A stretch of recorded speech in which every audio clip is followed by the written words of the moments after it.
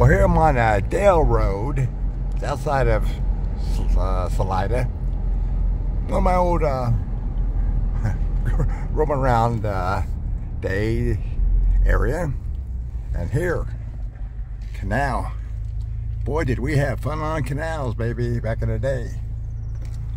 Of course, now they're all blocked off, but back in the day, we thought them were uh, like highways. Uh, you know, they're so wide and everything else, our cars, but geez, believe this or not, we used to water ski from one end down to the other gate.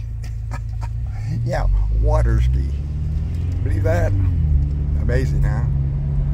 Right here, we had Lenny Bella. Lenny Bella. He's a cousin of the uh, three brothers.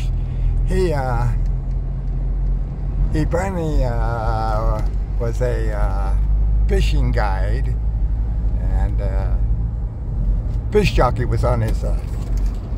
There, Joe Bella, the younger brother, uh, kept things uh, in shape. There you had Nate Bella and, uh, geez, what else? anyway, and then you had Leo Bella. Leo Bella, he got along with all the workers and stuff.